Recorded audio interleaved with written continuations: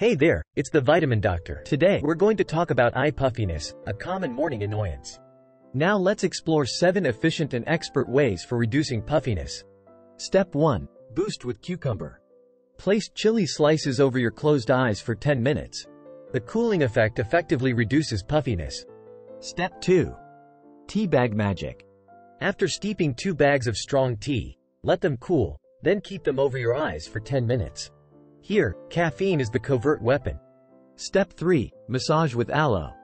The aloe vera gel, an organic anti-inflammatory, should be applied with care over the eyes. Step 4. Use cold eye cream.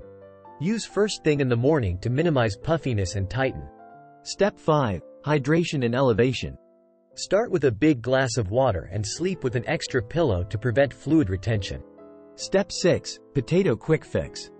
Place a slice of chilled potato on your eyes for 15 minutes to reduce water retention. Step 7. Boosting vitamin C. The seventh and final technique is vitamin C serum. Apply a small amount around your eyes to increase collagen and decrease puffiness.